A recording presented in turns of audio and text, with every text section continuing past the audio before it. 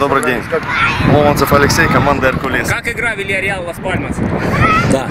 Как игра? Э, результат какой? Ну, это, наверное, лучше спросить у руководства Лас-Пальмаса, видимо, какой был результат. Это очень интересный момент. Ну а если по сегодняшней игре? По сегодняшней игре, что могу сказать? Ну, вышли, сыграли достойно.